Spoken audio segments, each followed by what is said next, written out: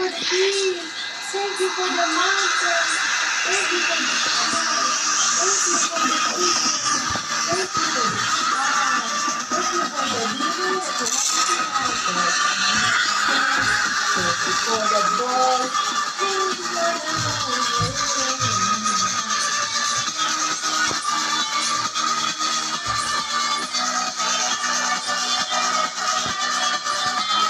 Thank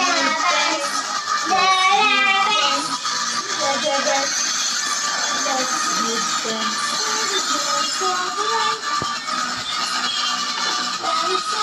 you.